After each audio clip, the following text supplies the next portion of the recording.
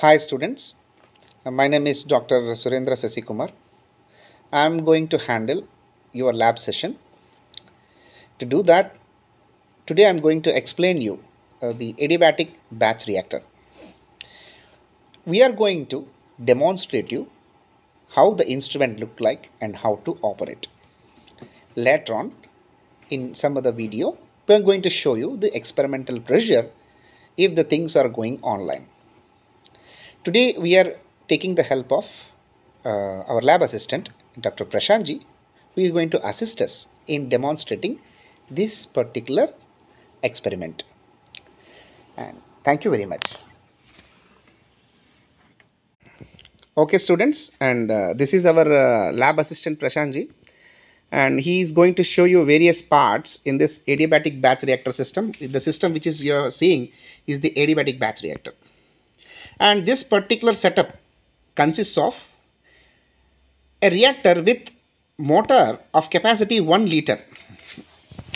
This is the 1 liter capacity which is going to put you can put the contains inside this uh, 1 liter capacity container.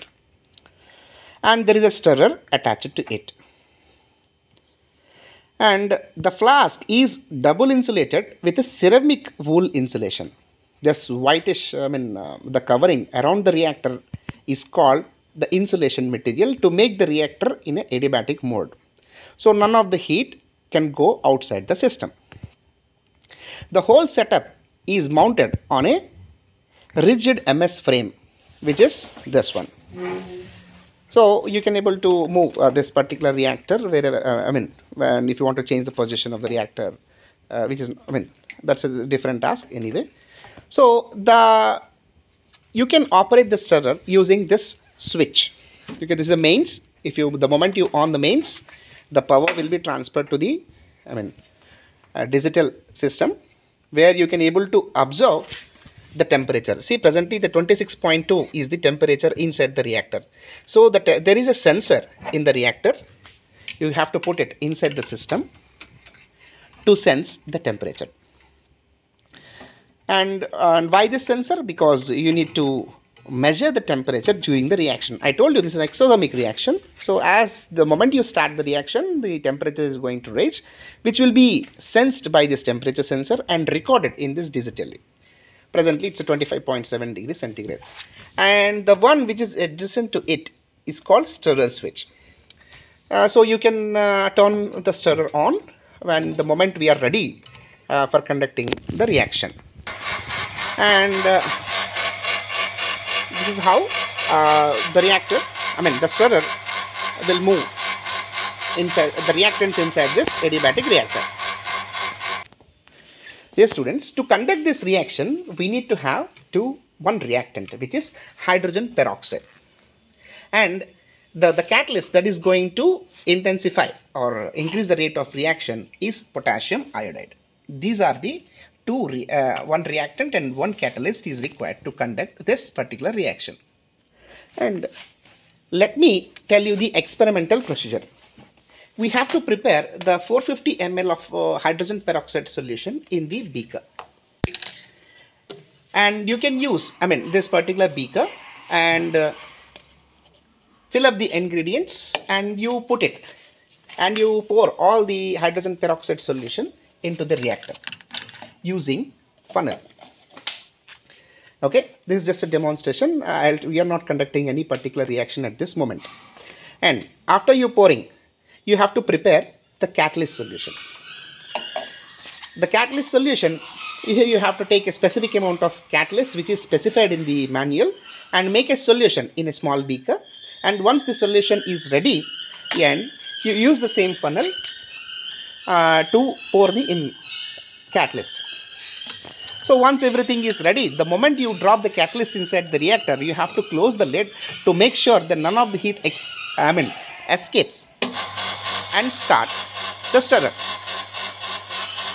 And the moment you start the stirrer, because the reaction is going to happen inside the adiabatic system, because none of the heat is coming, uh, you know, can able to get out. What thing it does is it will increase the temperature of the reaction mixture, which you are going to sense in this particular temperature, crystal temperature indicator.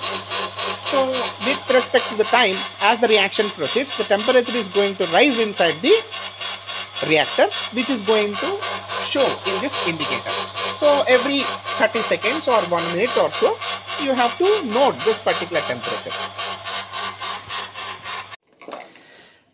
Dear students, it is important to know the closing procedure of any experiment. And right now, Prashanji is going to deliver us how to close after the end of the experiment what you are supposed to do. Prashanji, please continue. Uh, you open the lid at the first stage and separate the thermocouple and uh, put it inside the beaker so that it won't get dropped anywhere and uh, your next thing is try to open this knob.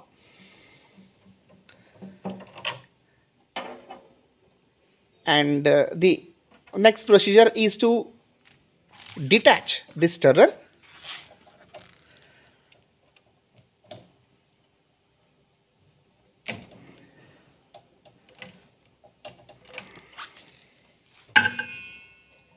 okay once you stirrer is detached remove the entire the reactor with insulator.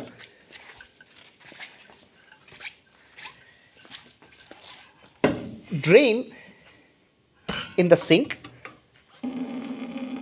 and wash it. And just after washing you keep it back to the place where you people have been removed. So this is the closing procedure